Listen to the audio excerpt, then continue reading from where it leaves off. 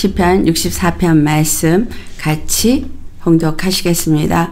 하나님이여 내가 근심하는 소리를 들으시고 원수의 두려움에서 나의 생명을 보존하소서. 주는 악을 꾀하는 자들의 음모에서 나를 숨겨 주시고 악을 행하는 자들의 소동에서 나를 감추어 주소서. 그들이 칼같이 자기 혀를 연마하며 화살같이 독한 말로 겨누고 숨은 곳에서 온전한 자를 쏘며 갑자기 쏘고 두려워하지 아니하는 도다. 그들은 악한 목적으로 서로 격려 하며 남몰래 올무놓기를 함께 의논하고 하는 말이 누가 우리를 보리요 하며 그들은 죄악을 꾸미며 이르기를 우리가 묘책을 찾았다 하나니 각 사람의 속 뜻과 마음이 깊도다. 그러나 하나님이 그들을 쏘시리니 그들이 갑자기 화살에 상하리로다. 이러므로 그들이 엎드러지리니 그들의 혀가 그들을 해함이라. 그들을 보는 자가 다 머리를 흔들리로다. 모든 사람이 두려워하여 하나님 의 일을 선포하며 그의 행하심을 깊이 생각하리로다 의인은 여호와로 말미암아 즐거하며 그에게 피하리니 마음이 정직한 자는 다 자랑하리로다 아멘. 이 시편이 써진 것을 묵상할 때 도움이 되는 말을 잠깐 드린다면 1절에 시작할 때에 시를 쓴 자의 마음이 무엇을 원하고 있는지를 말하고 있고 그 끝에는 그것의 결론을 말하고 있습니다. 이것이 히브리의 시를 쓰는 구조예요. 시작과 결론이 우리에게 무엇을 말해주고 있는가. 라는 거예요. 첫 번째로 오늘 이 시편 64편의 말씀은 하나님 원수의 손에서부터 나를 숨겨 주시옵소서. 여기서 나의 생명을 보존하소서 이렇게 표현하고 있죠. 나의 생명을 보존하소서라고 어, 표현했지만 실질적으로 이거는 주님께서 그를 보호해 주시고 가려 주시고 악한 자가 만지지도 못하게 지켜 달라는 말이에요. 시편이 말하고 있는 두 가지 하나님은 우리의 보호자가 되신다. 또 하나는 하나님은 우리의 공급자가 되신다. 이런 말했듯이 다윗이 오늘 주님은 우리의 보호자시니 나의 생명을 원수들에게서부터 보호하여 주옵소서. 그 기도를 드리는 거예요. 그리고 나서 마지막에 하는 말이 그렇게 내가 주님을 의지하고 주님께 모든 것을 맡겼더니 주님은 바로 나를 지켜주셨다는 거예요. 지켜주셨기 때문에 여호와로 말미암아 즐거워하고 그에게 피하게 되었다는 거야. 그에게 피한 자는 다 주님 안에서 마음이 정직한 자요 주님을 자랑하는 자가 된다. 그래서 자기가 지금 주님을 자랑하기 위해서 이 노래를 지었고 또 너희도 이와 같이 주님을 자랑하는 자가 되라. 그 말을 하고 있습니다. 주님 앞에 피하고 나를 감춰 주시옵소서. 나를 숨겨 주시옵소서. 누구로부터? 악으로부터. 자, 이 세상은 악한 자의 세상이에요. 이 세상은 어두움의 세상입니다. 이 세상은 사망 권세자가 주장하는 세상이에요. 그 가운데 우리가 마치 이리 가운데 보낸 양처럼 우리가 이렇게 살고 있는 거예요. 그런데 양은 미련하고 둔해서 이리가 와서 자기를 삼킬 것을 알지 못해요. 이게 양의 미련하고 우둔한 부분이에요. 그래서 양에게는 반드시 누가 필요하면 목자가 필요해요. 양에겐 반드시 목자가 필요하고 그리고 그 목자가 그 지팡이 지팡이가 이렇게 구부러져 있어요. 이 지팡이가 구부러진 이유는 눈이 어두워서 잘못 가고 있을 때 딱 걸어서 끌어낸 오게 하는 그 역할을 하는 거죠. 근데 양은 그래서 눈이 어두워서 근시 아니에요. 요 가까이 있는 것밖에 몰라요. 앞에 가는 양의 그 발만 보고 따라가는 거예요. 여러분, 우리가 어떻게 가야 되냐? 바로 예수님을 따라간 사람의 뒤를 우리도 보고 그것만 보고 따라가야 돼요. 딴 데 자러나 우러나 보고 내가 갈 수 있는 길을 찾을 수 있고 뭔가 그 길을 발견할 수 있다고 생각해가지고 옆에 보다 보면 딴 길로 가요. 엇길로 가요. 그래서 성경이 우리에게 어떤 길로 가야 될지를 주고 있다라는 거예요. 앞서간 사람, 예수님이 십자가를 짊어지시고 먼저 가셨고 그리고 그 뒤에 사도들이 그 십자가에 복음을 전하면서 그 길을 갔고 그것이 세대를 따라서 내려오면서 아주 적은 자가 정말 소수의 사람이 그 십자가의 길을 갔다는 거예요. 근데 그 십자가의 길을 간 사람이 죽임을 당했어요. 그 이야기는 무엇을 말하고 있냐 하면 세상의 주관자, 어두움의 주관자들이 더 힘을 얻고 정말 십자가를 따라가는 자들은 힘이 없이 죽어간 그러한 역사를 갖고 있다라는 거예요. 하나님의 어린 양은 마치 지는 것 같고 그들은 이기고 이기는 것 같다라는 거예요. 계시록 6장에 보면 그 흰말이 이기고 이기도라 라는 말을 할 때 이 흰말을 잘못 해석한 사람들은 예수님으로 해석을 하지만 사실상 이건 예수님이 아니에요. 광명의 천사를 가장한 저 그리스도예요. 이 세상에서 무엇인가 줄 수 있는 것 같이 구원을 줄 수 있는 것 같이 세상의 것으로 우리를 유혹하고 있는 저 그리스도가 이기고 이긴다 이 말이에요. 다윗의 노래처럼 우리는 피할 곳은 한 곳밖에 없습니다. 예수님 안에 피해야 돼요. 그래서 주님은 우리에게 누누이 말하는 것이 나 외에 다른 구원자가 없다고 말씀하는 겁니다. 1절에 다윗은 제일 먼저 한 말이 들으셔서 그 말이에요. 한국말로 번역을 하다 보니까 이 말의 순서가 이렇게 바뀌지만 히브리 언어에서는 첫 번째 하는 말은 항상 그것을 강조하기 위해서 제일 먼저 서두에 나옵니다. 그래서 이 히브리어의 그 문장 구조를 바꾸면 안 돼요. 한국식으로 바꿔버리면 안 되고 이 문장 구조대로 해석을 해야 되거든요. 그래서 들으소서 나의 목소리를 이렇게 말해야 맞아요. 다윗이 지금 하나님 앞에 간절히 바라는 건 주여 들으소서 나의 목소리를 무슨 목소리 내가 기도 중에 그가 그 근심하는 가운데서 주님께 기도하고 있는 그거를 들으시라 이 말이에요. 들으소서 오 하나님이시여. 들으소서 나의 목소리를 오 하나님이셔. 여러분 주님 앞에 기도하실 때 막연히 기도하십니까? 아니면 정말 나의 기도를 주여 들으소서. 들으소서. 우리가 바라는 거 그거죠. 하나님은 내 기도를 들으셔야 돼요. 하나님은 반드시 내 기도에 귀를 기울이셔야 돼요. 그래야 그분이 나의 기도에 응답하시지 않겠어요. 다윗이 이 기도를 드리면서 간절히 바라오는 건 주께서 자기의 음성을 듣기를 원한다는 거예요. 내가 목소리를 발해서 주님의 이름을 부르고 우리가 기도할 때 소리 소리를 지르는 것부터 아니면 이 애통하는 그 심령에 통해하는 심령이든 그게 어떤 목소리로 주 앞에 부르짖든 그분이 들으셔야 하는 거예요. 들으소서. 주님 들으소서. 나의 간구를 들으소서. 나의 고통의 부르짖음을 들으소서. 나의 이 간절함을 들으소서 주님께 제일 먼저 우리가 구해야 될 건 들으시기를 구해야 돼요. 들으소서 나의 목소리를 어 하나님이시여 전능하신 하나님 하나님은 내가 이 기도 중에 주님 앞에 간구하는 소리를 들어 주시옵소서. 그러면서 그가 간구하는 게 뭐냐? 원수의 두려움에서 나의 생명을 보존하소서. 사실상 이 생명이 없으면 다 끝입니다. 육체도 마찬가지예요. 육체도 이 생명 하나만 끊어버리면 끝이에요. 우리는 수혜칠 가치가 없다고 말하는 거. 이 호흡 하나만 딱 끊어버리면 아무 가치가 없는 게 인생입니다. 우리 인생이 이 생명 하나, 호흡 하나만 끊으면 가치가 없는 것처럼 우리 육체가 아무리 이 땅에서 잘 먹고 잘 살고 풍성하고 누리는 권세를 갖고 있고 명예를 갖고 있어도 예수님의 생명이 없으면 아무것도 아닙니다. 그래서 원수는 어떻게든지 죽이고 멸망시키려고 해요. 이 죽이고 멸망시키려고 하는 그 죽이고 멸망시키는 건 나로 하여금 하나님의 생명에서부터 끊어지게 하는 거예요.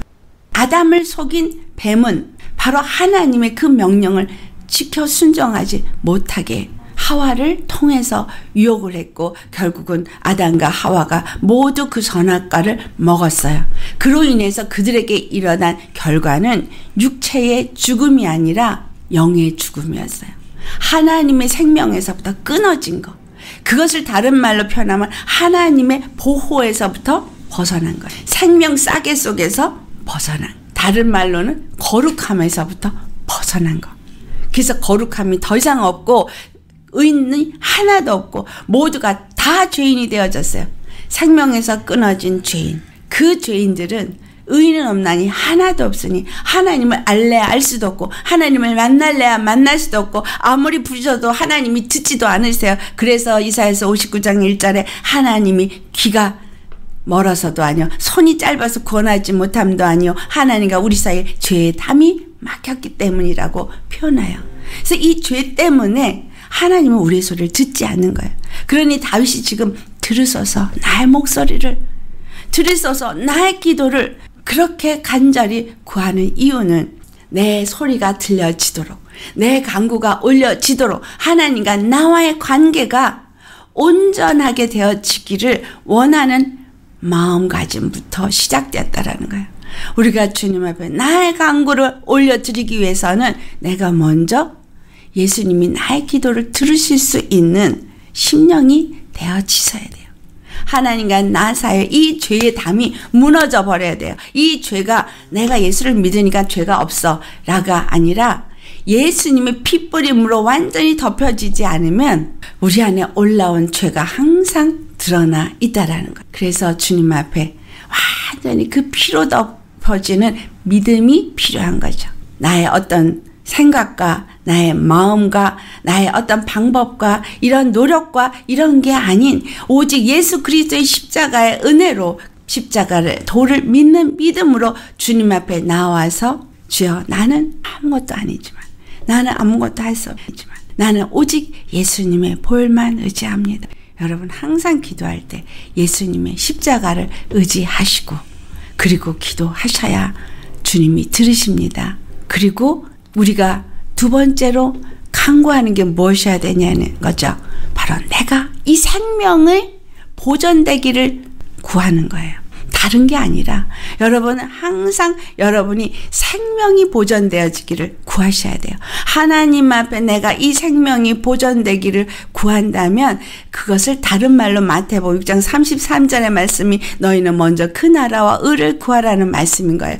그 나라와 그 의를 구하는 건 이 생명을 구하는 거예요. 이 생명이 내게 들어왔으면 이 생명이 보존되기를 구하는 거예요. 그러면 나머지 것은 육체의 것은 주님이 덤으로 주시는 겁니다. 원수 마귀는 우리에게 이 생명을 빼앗아 가려고 해요. 원수 마귀는 우리에게서 이 거룩함을 뺏어 가려고 해요.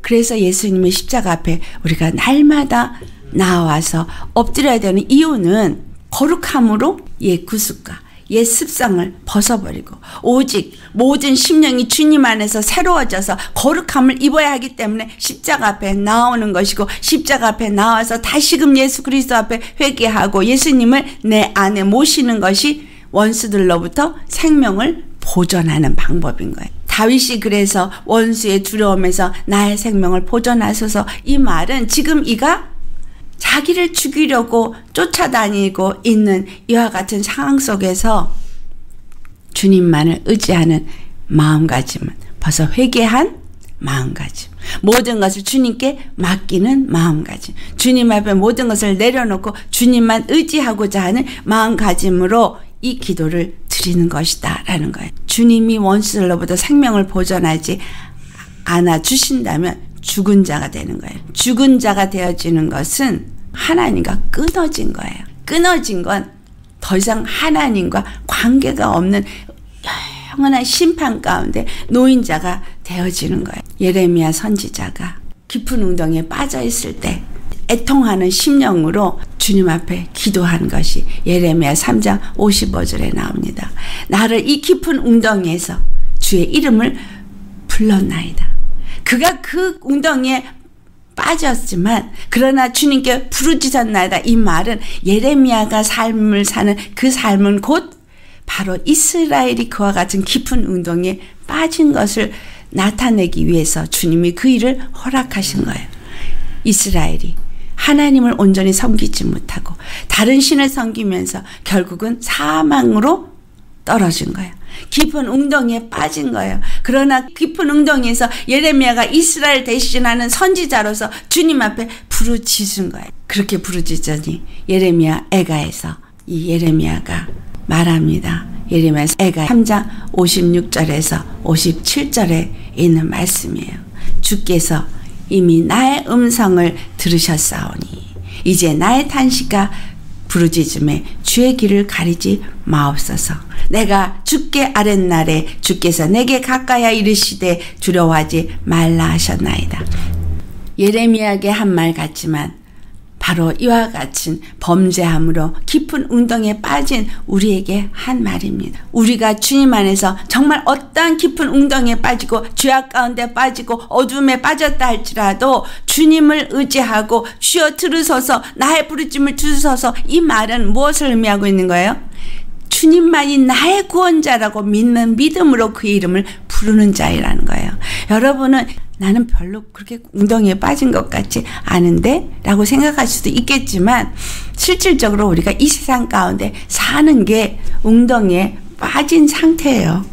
호시탐탐 우리를 죽이고 멸망시키려는 마귀 속에, 이리들 속에 이 양이 있는 거거든요. 그러니 주님 앞에 보호를 해주시기를, 생명사기로 쏴주시기를 구해야 되지 않겠어요? 이 깊은 웅덩이에서 이제 주님께 부르짖는다면 주님께 간절히 부르짖는 그 예레미야처럼 주님만이 나의 구원이고 주님만이 나를 여기서 건져줄 자이기 때문에 내가 주님을 찾고 부르고 그분만을 의지한다면 그분만을 신뢰한다면 주님은 우리의 소리를 들으시고 어떨 때 들으셔요?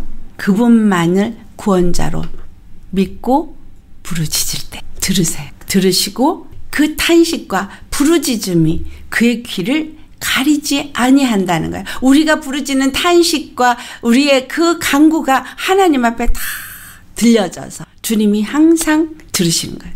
내 마음이 예수님을 주로 섬기고 그분만이 나의 구원자요. 그래서 나는 그 십자가의 모든 짐을 내려놓고 주님께 간구할 때 주님은 나의 모든 부르짖음과 간구를 들으신다는 거예요. 그분이 언제까지 내가 부르짖어야 나를 건지시는 그날까지 예수 그리스도 안에서 완전한 자유를 내 심령에 누리는 그날까지 우리는 부르짖어야 돼요. 그럴 때 주께서 말씀하시기를 두려워하지 말라 라고 말했다는 거야. 우리에게도 하시는 말씀이에요. 두려워하지 말라. 그 말이 그 다음에 58절 59절에 합니다. 왜 두려워하지 말라? 하나님이 그 심령의 원통함을 풀어주시기 때문에. 아멘. 그 원통함을 풀어주시고 그 생명을 속량하셨기 때문인 거예요. 우리의 원통함을 누가 풀어줬어요? 예수 그리스도께서 풀어주셨어요. 우리를 누가 속량하셨어요? 예수 그리스도께서 속량하셨어요. 그 십자가의 죽으심이 바로 우리를 죄에서 속량해 주시고 우리의 원통함을 풀어주신 거예요. 잠시 속아서 우리가 죄에 빠졌어요. 미련해서 몰라서 빠졌어요. 그리고 내가 알지 못하는 가운데 살인을 저질렀어요. 왜? 모르니까. 말씀을 모르니까 말에 실수가 많고 모르니까 행동으로 사람의 피를 흘리고 어, 내가 사람의 피를 흘렸어 라고 생각하십니까? 알았더라면 그렇게 안 했을 거예요. 내가 조금이라도 알았다면 난 아이를 그렇게 키우지 않았어. 제가 그런 마음이었어요.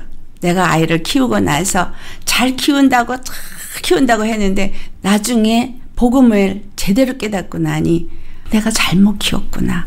이런 걸 알았더라면 내 아이들을 좀 더 잘 키웠을 거. 너무나 가슴을 치고 아파했어요. 그리고 그 다음에 돌이켜서 아이들한테 복음의 엄마로서 행하려고 노력하지만 그러나 이미 율법으로 할 때 그 아이들에게 준 상처들이나 그 아이들을 매어놓은 이 얽매인 올무 같은 것들은 그렇게 쉽게 끊어지고 쉽게 치유되지 않는다는 거예요. 그러니까 가슴을 치면서 애통하며 기도할 수밖에 없고 하나님이 그 일을 이루어 주시기를 구하게 되더라고요. 우리가 알지 못해서 몰라서 끝없는 실수를 저질렀거든요. 이게 누구 때문이에요? 마귀 때문이에요. 죄가 내 눈을 어둡게 하고, 죄가 내 생각을 어둡게 하고, 죄가 내 마음을 잘못 가게, 잘못 마음을 품게 했고, 이게 다 원통한 거예요. 지난 날의 죄는 원통한 거예요. 이것을 내가 이렇게 죄인이야. 내 탓이더라. 내 탓이더라. 이러고 캐톨릭에서는 가슴을 치죠. 그 미련한 건 속상한 일이에요. 근데 이 가슴을 칠 때 뭘 쳐야 되냐면 속은 걸 가슴을 쳐야 돼요. 속아서 죄를 진 것을 원통해서 가슴을 치셔야 돼요. 내 탓이 아니라 누구 탓이에요? 마귀 탓이거든. 마귀가 내 눈을 가렸고, 마귀가 내 지혜를 더럽혔고, 이 모든 것이 다 죄 때문이에요, 죄. 죄 때문에. 그래서 우리가 회개를 할 때, 아담의 원죄부터 회개를 하고, 그 다음에 내가 가진 자범죄를 회개를 하고 또 내가 가진 마음으로 잘못 생각하고 잘못 품은 본죄를 회개하고 원죄와 자범죄와 본죄를 다 회개해야 돼요. 원래 죄성을 가져서 생각부터가 철저하게 죄요. 그 죄로 말미암아 가진 혼적인 생각과 마음도 죄요. 그것에서부터 열매를 맺은 이 자범죄인 이 죄 열매들도 죄요. 그래서 이 모든 것을 철저하게 하나님 앞에 회개하는 이 죄, 회개는 바로 이 마귀에게 속은 원통함을 회개하는데 십자가에서 그 원통함을 예수님이 다 갚아 주셨다는 거예요. 예수님이 십자가에서 그 원통함을 갚아주고 우리를 그 죄에서 속량을 해주셔서 이제 예수 그리스도 안에서 의로 사는 자요 생명을 가진 자로 살았다면 이젠 더럽혀진 그 지혜가 하나님의 지혜로 바뀌어져야 돼요. 그러니 하나님 앞에 지혜를 구해야 돼요. 에베소 1장 17절에 지혜와 계시의 영을 주사 라고 말한 것처럼 지혜와 계시의 영이 와야 내 이 더럽혀진 지혜가 제대로 된 지혜로 바뀌어져요. 그래서 성령을 보내주신 이유가 성령님 우리를 지혜자로 만들어 주시고 하나님의 말씀을 들을 수 있는 귀를 열어 주시고 그래서 말씀을 통해서 우리의 눈이 열려지게 하시고 바로 우리가 속량함을 얻는 것은 뭐예요? 눈이 열리고 귀가 열리고 생각과 마음이 바뀌는 건 그동안 내게 묶여졌던 올무들이 하나하나 다 끊어져 나가. 다 끊어져 나가는 만큼 자유함이 오는 자유함. 나를 생각으로 이렇게 묶었던 것, 저렇게 묶었던 것에서 자유함. 내가 성품적으로 나는 이런 사람이야 라고 생각했던 이것도 내 거 아니에요. 모든 것이 우리 주님 안에서 다 해결이 돼야 합니다. 이걸 위해서 예수님이 바로 그 모든 일을 당하셨다는 사실이에요. 오늘 시편 64편에도 예수님이 당한 일을 기록하고 있어요. 다윗이 2절에 말씀하기를 나를 숨겨 주소서라는 말을 해요. 나를 숨겨 주소서. 이 말이 제일 먼저 나왔는데 한국어 번역에는 맨 끝으로 갔어요. 악을 꾀하는 은밀한 모임자들, 음모라고 표현되는데 악한 그 일을 꾀하는 은밀한 모임에서부터 나를 숨겨주소서. 또 악한 일을 행하고자 하는 자들의 그 모임, 여기서 소동이라고 말했는데 그 많은 사람들의 모임, 무리를 말하고 있어요. 악한 일을 행하는 많은 무리들 중에서 나를 숨겨주소서.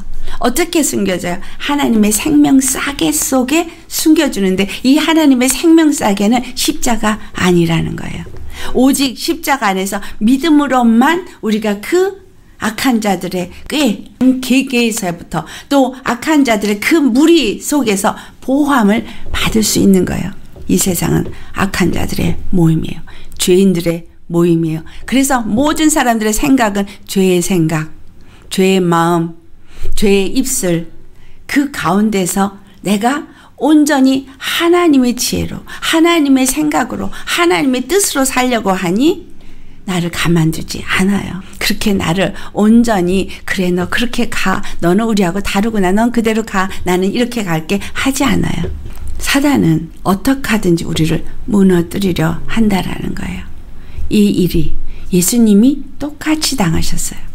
마태복음에 26장 3절에서 4절을 보면 그때 대제사장들과 백성의 장로들이 예수님을 잡아 죽이려고 괴계를 꾸미는 말을 기록하고 있습니다. 예수님을 잡아 죽이려고 괴계를 누가 꾸미었어요? 대제사장과 백성의 장로들. 이스라엘 믿는 자들 가운데 우두머리들 지도자들이 그와 같이 예수님을 죽이려고 했다라는 거예요. 더더군다나 하나님과 백성 사이에 그 죄를 사는 대제사장이 예수님을 죽이려 했다라는 거죠. 그러니 그들이 누구에게 속한 자요? 마귀에게 속한 자이죠. 그뿐만 아니라 사도 바울도 똑같은 일을 당해요. 사도행전 23장 14절에서 15절을 보면은 이 바울을 죽이고자 똑같이 계계를 꾸민 게 역시 대제사장과 백성의 장로들이에요. 왜? 바울이 율법을 지킬 때는 한편이었어요. 그를 죽일 이유가 없었어요. 하지만 그가 그리스도의 십자가의 복음을 전할 때에는 그들은 자기들의 원수라고 생각했기 때문에 바울을 죽이기 위해서 우리는 아무것도 먹지도 않고 그를 죽일 때까지는 아무것도 먹지 않겠다 굳게 맹세까지 했어요. 그러면서 그들이 괴계를 꾸민 것이 사도행전 23장에 기록이 되어 있어요. 그래서 그것이 계속 기록이 돼서 25장까지 나갑니다. 바울을 죽이기 위해서 23장에서 25장까지 그렇게 길게 왜 바울은 이방인에게 복음을 전하는 하나님의 사도이기 때문에 그를 죽여야 하는 거예요. 그래서 그들이 괴계를 꾸미고 그를 예루살렘으로 옮겨가서 이가 재판을 받게 하옵소서 하나 가는 중에 그를 죽이고자 하는 그들의 괴계였다라는 거예요. 하지만 하나님은 바울을 로마에 보내야 되는 하나님의 계획이 있었기 때문에 그 모든 것을 그 생질이 듣게 해요. 조카가 그걸 들어요. 그리고 나가서 천부장에게 그걸 말하게 하고 그래서 은밀하게 그 밤에 바울을 옮겨서 결국은 그들의 계계가 이루지 못하게 하는 일을 기록하고 있습니다. 예수님도 그랬고 사도 바울도 그랬고 우리가 십자가의 복음을 들고 예수님 안에서 진리로만 나아가려고 하면 우리도 역시 그와 같이 끊임없이 이거를 무너뜨리고 죽이려고 하는 일이 있다 이 말이에요. 이것이 무서워서 피하시겠습니까? 아니면 그래도 끝까지 나는 이 진리의 길을 가시겠습니까? 이 다윗을 통해서 예수님의 일어난 일이나 바울이 일어난 일이나 우리가 일어날 일을 다 말하고 있는 거예요. 원수들의 손에서부터 우리를 보호하여 주옵소서. 이 시대에 우리가 구해야 될 기도입니다. 아, 다윗이 그때 이렇게 쫓기고 이렇게 죽임을 당하려고 하는 그러한 상황 속에 놓여 있어서 사울에게 죽임을 당하려고 했었고 압살롬의 무리에게 죽임을 당하려고 했고 그래서 이러한 시편을 쓰게 되었지만 그러나 그는 오직 하나님만을 의지했다라는 거예요. 그리고 하나님이 생명사기로 그를 보호해 주기를 구하였다라는 거예요. 그들이 어떻게 다윗을 죽이려고 했는지, 어떻게 예수님을 바울을 죽이려고 했느냐. 3절로부터 나오는 말이 그들이 칼같이 자기 혀를 연마하고 화살같이 독한 말로 겨누었다고 말하고 있어요. 대제사장과 백성의 장로들이 서로 나누고 있는 계계는 마치 그 율법을 지키고 마치 하나님을 잘 섬기고 있는 것 같이 말하고 있는 말들이지만 그 혀는 칼이요 독이다 이 말이에요. 참 진리 안에서 행하지 아니하는 뭔가 육체의 생각과 마음이 원하는 대로 말을 한다면 그것은 거죽은 경건의 모양을 가진 그리스도인이라 할지라도 결국은 그 모든 말은 사람을 죽이고 해야 하는 칼이요 독이 묻은 화살이다 그 말이에요. 결국은 예수님을 그렇게 죽이기 위해서 그들이 한 계획에는 백성을 충동질을 해서 오히려 바라바를 놔주라고 소리 소리 지르면서 예수님을 십자가에 못 박으라고 했어요. 우리의 혀는 야고보서 3장 8절에 길들일 사람이 없을 정도로 쉬지 아니하는 악이요 죽이는 독이 가득한 것이라고 말하고 있습니다.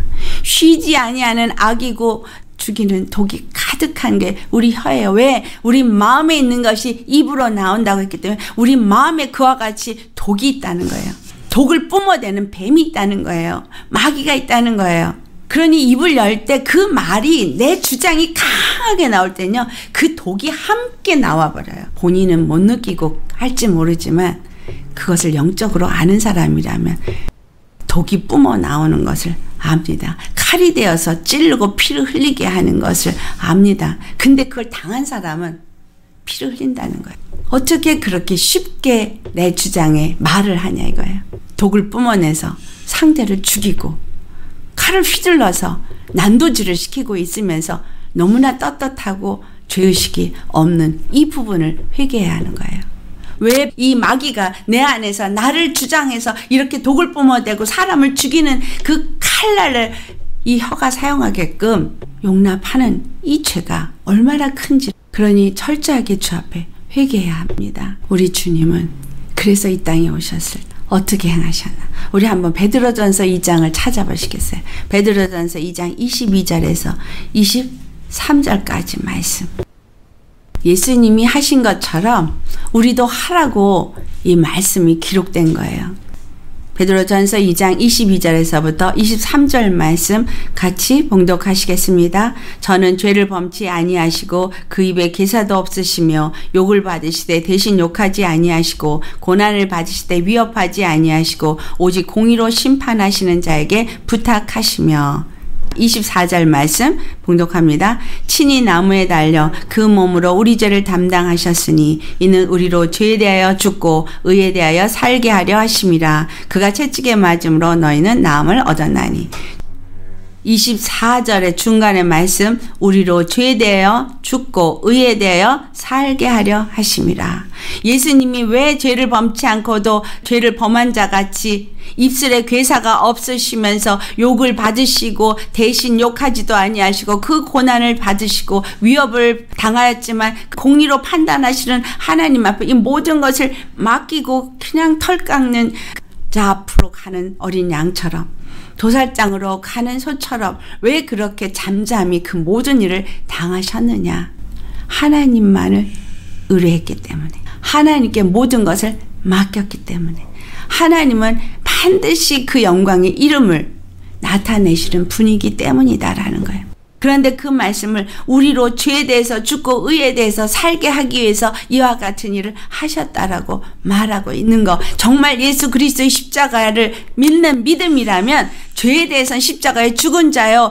의에 대해서 사는 자가 되어지니 하나님의 의로 사는 자는 하나님만을 의지하고 하나님께 모든 것을 맡기고 신뢰하고 그분으로 하여금 모든 일을 하시도록 하고 나는 모든 것에 그냥 순종하고 주님을 믿는 믿음으로 나아가는 그러한 삶을 살더라 라는 거예요. 예수님이 가신 22절과 23절의 말씀은 이것이 믿는 믿음인 거예요. 믿는다고 큰 소리 치고, 믿는다고 안다고 싸우고, 믿는다고 내가 아는 게 옳다고 주장하라는 것이 아니라 모든 것을 기도와 강구로 하나님께 아뢰고, 하나님이 모든 일을 이루시도록 그분께 의뢰하고, 그분만을 신뢰하고, 그와 같이 나아가는 자가 되라 그 말입니다. 그들이 사절을 보면 수, 숨은 은밀한 곳에서 온전한 자를 쏘며 자 여기서 온전한 자는 누구예요? 예수님. 그래서 예수님만을 의지하고 예수님 안에 속한 자가 온전한 자가 되는 거예요. 예수님이 온전한 자인데 대제사장과 백성의 장로들이 그를 쏘았어요. 그를 죽이려고 했어요. 사도 바울이 예수님만을 의지하고 정말 십자가의 복음만을 전하는 온전한 자인데 그를 죽이고 그를 멸망시키려고 쏘았어요. 독무든 화살을 쏘고 칼을 휘둘렀어요. 그래서 갑자기 쏘고 그를 죽이려 하지만 예수님도 믿음 안에서 하나님을 의지하니 두려워하지 않았고 사도 바울도 예수님만을 의지하니 두려워하지 않았고 아멘. 우리도 예수 그리스도 안에서 진리로 온전함을 입은 자요 구원함을 얻어 의의 백성이 되었다면 우리도 또한 예수님 안에 피한 자가 되어져서 두려워하지 않은 자가 되어야 하는 것입니다. 아멘. 주 안에서 우리가 어떤 믿음으로 사는 자인 것. 5절과 6절에 본문에 말씀한 것처럼 그들은 악한 목적을 위해서 서로 격려하고 서로 네가 오라. 어 맞아 맞아. 그래 그래 그래. 죄악의 길에 섰으면서도 그렇게 죄악의 길에 선 사람을 또 옳다라고 말해요. 이게 로마서 1장에 사도 바울이 말하고 있죠. 내가 나쁜 짓을 행하고 죄를 행하면서도 또 죄를 행하는 사람 옳다고 하면 서로 격려해요. 그리고 서로가 뜻이 맞아서 하나가 되어져 당을 져요. 그리고 남몰래 그 올무를 놓아서 서로가 의논을 하고 계획을 해서 어떻게 하면 이들을 넘어뜨릴까 죽일까 죄악을 꾸민다라는 거예요. 그리고 그들이 묘책을 찾다 박수를 치며 예수님을 십자가에 못 박을 때 환호를 질렀어요. 하지만 그것은 그 사람의 속뜻과 마음을 드러내는 거였어요. 마리아에게 시므온이 예언한 말이에요. 왜 예수님이 십자가를 지셨느냐? 사람의 그 속과 그 뜻과 생각을 드러내기 위함이라.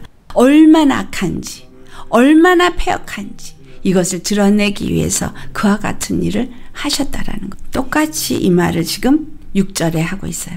그 각 사람의 속독한 마음이 깊이 있지만 그들이 묘책을 찾았다고 하는 그 모든 것이 그 안에 악함에서 올라오는 것을 주님이 드러내신 것이다. 그들은 어두운 가운데 묘책을 까고 그리고 누가 그것을 보리요 누가 그것을 알리요 하고서 제약을 꾸미지만 이사에서 29장 15절에 주님이 하시는 말씀이 화 있을진저 자기의 도모를 행하는 자에게 여호와께 깊이 숨기려 하는 자여 그 일을 어두운 데서 행하며 이르기를 누가 우리를 보랴 누가 우리를 알랴 하니 이사에서 29장 16절 말씀. 너희의 폐역함이 심하도다 하면서 하신 말씀이 토기장이를 어찌 진흙같이 여기겠느냐? 지음을 받은 물건이 어찌 자기를 지은 이에게 대하여 이르기를 그가 나를 짓지 아니었다 하겠으며 빚음을 받은 물건이 자기를 빚은 자에게 대하여 이르기를 그가 총명이 없다 하겠느냐? 하나님이 우리가 행하는 생각과 마음 다 보고 다 아신다는 거예요. 아무리 은밀한 가운데 하고 사람은 속일 수 있어요. 왜냐하면 사람은 당장 눈앞에 보이는 것만 보니까 사람은 속일 수 있어요. 그러나 하나님은 속일 수가 없어요. 주의 종들 중에도 이와 같이 주의 백성들을 우롱하고 속이고 눈가림을 하고 있는 짓을 하고 있는 분들이 있습니다. 그런 목사가 있고 그런 선교사들이 있어요. 그런 걸 제가 볼 때 가슴을 치고 아픕니다. 저들이 하나님이 살아계심을 정말 믿지 아니하는 거지. 하나님이 살아계시다고 믿는다면 어떻게 저런 일을 할 수 있겠는가? 그런데 기도할 때는요. 살아계신 하나님 이러면서 기도해요. 여러분 깨어 눈을 뜨셔야 합니다. 이런 사람들에게 속아버리면 내가 그와 함께 지옥으로 떨어질 것밖에 없어요. 깨어 일어나서 정말 바른 말씀을 들을 수 있는 귀가 있어야 되고 바른 주의 의인들을 분별할 수 있는 눈이 있어야 돼요. 광명의 천사로 가장해요. 사단은 그리고 마치 의인처럼 의인이 말하는 것처럼 말하고 그리스도인인 것처럼 말하고 마치 그리스도인 것처럼 하면서 백성들을 우롱하고 속이고 그래서 사망으로 끌고 가고 있다는 거예요. 올무를 놓고 그 사망의 구덩이로 빠치운다 이 말이에요. 우리는 그러한 자들 가운데서 반드시 깨어 일어나도록 주님이 이 다윗을 통해서 오늘도 우리에게 말씀을 주시니 감사하고 감사할 뿐입니다. 고린도전서 4장 5절에 그러므로 때가 이르기 전 주께서 오시기까지 아무것도 판단치 말라 그가 어둠에 감추인 것들을 드러내고 마음의 뜻을 나타내시리니 그때 각 사람에게 하나님께로부터 칭찬이 있으리라 라고 말합니다. 그냥 나는 뭐만 하는 거야? 십자가의 말씀을 붙잡고 믿음으로 그냥 가면 하나님이 다 드러내신다는 때가 되면 다 드러내셔요. 7절로부터 다윗은 하나님이 우리로 하여금 정당한 것, 우리로 하여금 옳은 의의 길을 간 것에 대한 보증을 나타내실 것을 기록하고 있습니다. 하나님이 그들에게 화살을 쏘신다는 거예요. 어떤 자들에게 이 악한 자들 자기네들이 은밀하게 뭔가를 꾸미나 그러나 이런 자들에게 하나님이 갑자기 알지 못할 때에 화살을 쏜다는 그들을 드러낸다는 거예요. 그걸 사도 바울이 데살로니가 전서 5장 2절에 하나님이 도적같이 마신다라고 표현해요. 주의 날이 도적같이 만다는 거예요. 주님이 언제 임할는지 알지 못할 때 뭔가 평안하다 평안하다 안전하다 안전하다 그럴 때에 잉태한 여자가 해산하는 그 고통이 갑자기 이르는 것 같이 그렇게 임하실 것이다 라고 말하고 있습니다. 우리는 이 말을 들을 때 뭘 해야 되는 걸 말해주고 있어요. 그들은 반드시 하나님의 갑자기 임하는 화살에 의해서 엎드러진다라는 거. 그리고 그들이 한 말에 의해서 그들이 다 해함을 받는다고 8절에 말합니다. 그들은 자기가 놓은 올무에 자기가 걸려들고 자기가 한 말에 자기가 보응을 받고 자기가 행한 그 모든 행위로 자기가 심판을 받고 그 악으로 인해서 하나님으로부터 모든 진노와 보응을 다 받게 되어져 있다라는 거예요. 그래서 그와 같은 자들을 볼 때 모든 보는 자들이 다 머리를 흔들리로라. 라고 말하지만 흔들리려다가 아니라 모든 자들이 두려워서 다 도망한다는 거예요. 각각 흩어져서 뿔뿔이 거기서부터 다 나도 똑같은 재앙을 만날까봐 도망한다는 거예요. 모든 사람이 두려워하여서 하나님 앞에 회개하고 돌이키도록 하나님은 양과 염소를 가르는 일을 행하십니다. 반드시 그 악한 자들은 하나님이 보응하세요. 하나님은 공의의 하나님이십니다. 그래서 우리가 해야 할 것은 그 예수님 안에 온전히 피한 자가 되어야 되는 거야. 예수님만이 나의 피난처가 되어지고 예수님만이 나의 의가 되어지고 예수님만이 나의 구원이 되어져서 그분을 의지하고 신뢰하고 그의 이름을 끊임없이 부르고 원수 갚는 것을 내가 갚으려고도 하지 말고 또 내가 이렇게 죄를 지었다라고 또 낙심하지도 말고 내가 속았구나. 뭐에 대해서 일을 가셔야 돼요? 마귀에 대해서. 마귀에게 속은 것에 원통해서 그 악한 마귀에 대해서 대적하는 그러한 굳건한 믿음이 되셔야 돼요. 용납을 요만큼도 그들에게 하면 안 돼요. 마귀가 기뻐할 요만큼도 나는 너에게 줄 수 없어. 요만큼도 네 기뻐하는 그 일을 나는 할 수도 없어. 나는 절대 안 할 거야. 나는 예수님이 기뻐하는 일 말이라. 왜냐하면 나는 예수님께 피한 자요. 예수님만이 나의 피난처요. 예수님만이 나의 구원이시니 나는 예수님께 피하고 예수님께 모든 것을 아뢰리라. 그런 자가 십자가에 나아가서 기도하고 믿고 그분만을 의지하는 자예요. 그러면 하나님은 그를 위해서 싸우시는 하나님. 그의 이름을 위해서 싸우세요. 왜? 내가 그분을 구원자로 믿었기 때문에. 그분을 구원자로 섬겼기 때문에.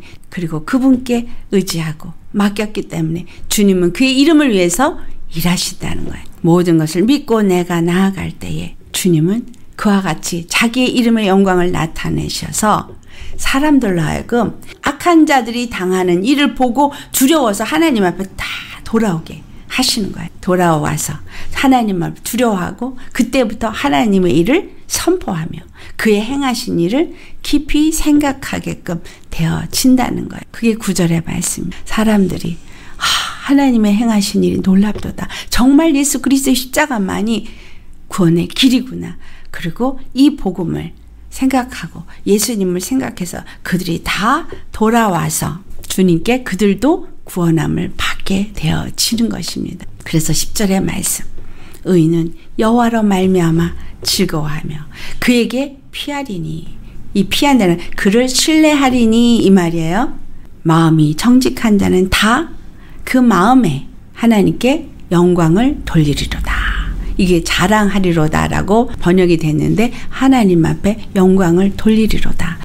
우리 주님이 모든 일을 다 행하셨기 때문에 그분께만 영광을 돌리고 그분만을 자랑하고 그분께만 피해니 우리는 늘 주님 안에서 안식하고 평안을 누리며 주님 안에서 기뻐하고 감사하고 자유하고 오늘 말씀이 무엇을 말하고 있어요? 믿음으로 잠잠히 말씀 믿고 말씀 따라 기도하고 순정하고 그렇고 말씀과 기도로 나아가다 보면 주님이 하나 하나 하나 하나 다 해결을 하시고 다 일하시고 그리고 악한 자들을 다 무너뜨리니 그 악한 자에게 매여 있던 영혼들이 자유함을 얻고 돌아오게 되어지고 엉켜 있었던 모든 실타래가 다 풀어지고 하나님이 그 일을 다 이루십니다. 우리에게 필요한 건 오직 믿음. 오직 예수님께만 피하는 믿음. 그분만을 믿고 신뢰하고 의지하는 믿음. 아멘. 그래서 다윗이 주여 나로 하여금 첫 번째 기도 들으소서. 나의 목소리를 왜 나는 주님을 의지하니 주님만이 나의 구원임을 의지하니 내 목소리를 들으소서. 그리고 나의 생명을 저 원수들로부터 보하여 주옵소서. 피하게 주의 생명 속에 싸게 하여 주옵소서. 그러니 이 말은 뭐예요? 바깥에 있으면서 나를 보호하옵소가 아니라 내가 이제 주님만 믿고 의지하고 주님께 들어가오니 주님만 신뢰하오니 나를 보존하여 주옵소서. 내가 생명을 빼앗기지 않게 하여 주옵소서. 그럴 때 내가 주님을 찬성하고 예수님이 나를 건져내셨으니 주님으로 말미암아 즐거워하고 주님만을 신뢰하고 주님 앞에 영광을 돌리겠나이다. 이 말을 한 거예요. 아멘. 사도 바울이 한 말이에요. 갈라디아서 6장 14절에 오직 주 예수 십자가 왜 결코 자랑할 것이 없다. 아멘. 그래서 그는 내가 예수 그리스도 십자가만 자랑할 것밖에 없기 때문에 그러므로 말미암아 세상이 나를 대하여 십자가에 못 박히고 내가 세상을 대하여 그러하니라라고 말한 거예요. 예수 십자가밖에 자랑할 것이 없으니 나는 세상에 대해서 못 박힌 자가 되어지 또한 세상은 나에 대해서 못 박힌 자가 되어지기를 예수님으로 축원합니다. 아멘. 오직 예수님만 믿고 신뢰하면서 나아가며 하나님의 그 영광에 승리의 깃발이 올려지는 저와 여러분이 되어지기를 축원합니다. 아멘. 우리 다 같이 주 앞에 오늘 말씀 생각하시면서 여러분 말씀 들으면서 떠오른 생각들, 감동들, 기도할 것들 생각나실 거예요. 우리 다 같이 기도하시고 마무리 기도 제가 하고 마치도록 하겠습니다. 할렐루야 거룩하신 아버지여 들으소서 우리의 목소리를 들으소서 우리의 간구를 주님이 들으셔야 하옵니다. 왜냐하면 예수님 밖엔 우리에게 다른 길이 없기 때문입니다. 하나님이 우리의 음성을 들으시고 하나님이 우리의 소리에 귀를 기울이시지 아니하시면 우리는 죽은 자가 됨이니이다. 아버지여 들으소서 나의 목소리를 들으소서 나의 간구를 아버지여 오직 예수님만을 의지합니다. 예수님만을 바라봅니다. 예수님께서 일을 이루시고 예수님께서 행하시고 예수님이 나타내시옵소서. 오직 생명 싸개 속에 우리를 보호하소서.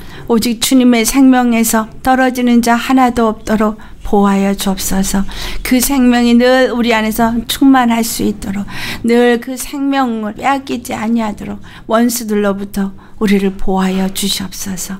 하나님은 우리의 보호자시고 하나님은 우리의 능력자시고 우리의 산성이시고 우리의 요새시고 우리의 구원자이기에 예수님께서 그 십자가를 지시고 죽으심으로 인해서 또 우리의 모든 죄를 사하여 주셨고 우리의 원통함과 우리의 죄를 다 속량하여 주셨습니다.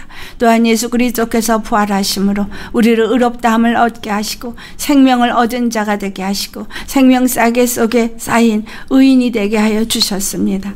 아버지여 다윗의 이 말씀 우리 안에서 온전히 또 깨달음이 되어져서 예수님 안에 우리는 피한 자가 되어지고 예수님 안에서 그 의로 사는 자가 되게 하옵시고 예수님을 믿고 예수님만을 의지하고 모든 것을 주님께 다 아뢰고 주님 안에서 평안히 쉼을 얻고 생명을 누리는 자로 살게 하옵소서. 결단코 그 어떤 순간에도 생명을 빼앗기는 일이 없도록 우리를 주님의 말씀으로 보호하여 주옵시고 주님의 지혜로 우리의 더럽혀진 지혜를 주님 새롭게 하여 주옵소서. 주님의 말씀을 더욱더 깨달아 지식에까지 새로워지게 하옵소서. 주님의 말씀이 우리 심령 속에 아버지 정말 우리의 육적인 모든 사람들을 다 깨뜨리시고 우리를 뒤엎으시고 기경하여 주셔서 정말 옥토가 되게 하여 주시옵시고 주님의 말씀 앞에 온전히 선자 겸손한 자가 되어지고 온유한 자가 되어지고 사랑의 사람이 되게 하여 주셔서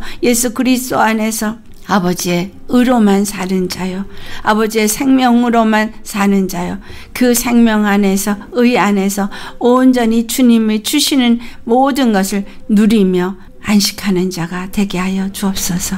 오직 주님의 나라로 세워지도록, 오직 주님의 의만이 나타나지도록 우리를 보호하옵시고, 아버지여, 악한 것이 결단코 만지지도 못하게 나의 생각과 나의 마음과 나의 모든 삶을 나의 모든 행보를 주님 주장하여 주셔서 오직 예수 그리스도의 영으로 말미암아 하나님의 영이 주는 생각과 주는 마음을 가지고 모든 일을 다 주 앞에 아뢰고 구하고 간구하고 주님이 주시는 감화 감동하심으로 따라 순종하며 아버지의 일을 이루어갈 수 있게 하옵소서.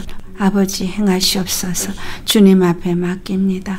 주님 안에서 우리 심령은 정직한 자가 되게 하옵시고 거짓이 없게 하옵시고 우리 심령은 주님 안에 의인이 되어져서 하나님의 의만 나타나는 자가 되어져서 오직 예수 그리스도만을 자랑할 것밖에 없다고 고백한 사도 바울처럼 아버지 우리도 예수 십자가밖에는 자랑할 것이 없는 자가 되게 하시고 예수님께만 영광을 돌리는 자가 되게 하여 주시옵소서.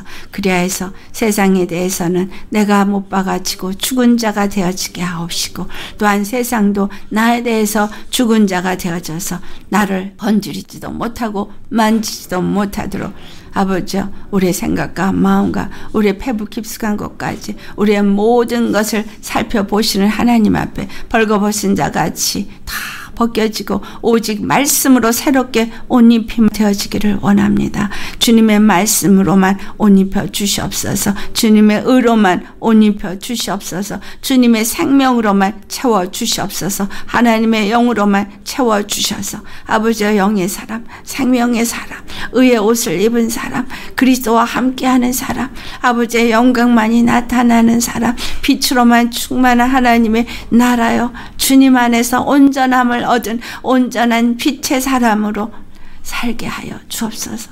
이와 같이 주님 안에서 빚어지고 이불에 열 때마다 젖과 꿀이 흐르는 입술이요 독을 바라는 입술이 되지 말게 하옵시고 독을 품은 혀가 되지 말게 하옵시고 오직 영혼을 살리는 입술이요 주님의 생명을 나누는 입술만 되어지게 하여 주시옵소서. 감사합니다. 오늘도 다윗의 이 고백의 시와 노래를 통해서 예수님을 또 더욱더 생각하게 하시고 예수님 앞에 나의 심령을 돌아보게 하시고 또 구할 바가 무엇인지를 알게 하신 주님 앞에 감사합니다. 아버지여 들으소서 우리의 목소리를 아버지여 들으소서 우리의 간구를 아버지께서 듣지 아니하시면 우리의 간구는 흩어지는 소리와 날아가는 먼지와 같은 아무것도 소용이 없는 소리일 뿐입니다. 우리의 목소리가 아버지 앞에 상달되어지고 아버지께서 우리의 부르짖음에 귀를 기울이시고 우리의 간구를 들으셔서 아버지께 모든 것이 올려지고 아래질 때 아버지께서 하나하나 그 모든 일을 아버지 이름의 영광을 위해서 이루시고 나타내시고 악한 자들을 다 무찌르고 보응하시고 우리의 생명은 주님 예수 그리스도 안에서 온전히 보존되게 하여 주옵소서. 그 생명이 온전히 보존되어져서 날마다 생명이 풍성해지게 하시고 날마다 주님의 영광을 나타내기에 부족함이 없게 하옵시고 오직 참으로 예수 그리스도 안에서 산 자가 되어지고 세상에 대해서는 죽은 자가 되어지게 하여 주시옵소서. 세상에서는 바보같이 세상에서는 미련한 자같이 세상에서는 도살장으로 끌려가는 소같이 주님이 그렇게 사셨습니다. 아버지여 오직 하나님만을 믿고 하나님만을 의지하기에 그 아버지의 뜻을 이루기 위해서 모든 걸 주님께 맡기고 그렇게 하셨습니다. 복음을 전한 사도들 그와 같았습니다. 오직 십자가만을 전하고 자랑하며 그들을 죽이고 그들을 멸망시키려 하는 원수들 앞에 그들 스스로가 먼저 대적하고 싸우려 하지 아니하고 오직 모든 것을 주님께 맡기고 주님만을 의지했습니다. 우리도 예수님께 모든 것을 맡기고 예수님만 의지하고 오직 우리에게 주신 예수님의 생명만을 원수로부터 보존하여 주시기를 구하고 예수님 안에 잠잠히 믿음으로 거하는 자만 되게 하여 주시옵소서.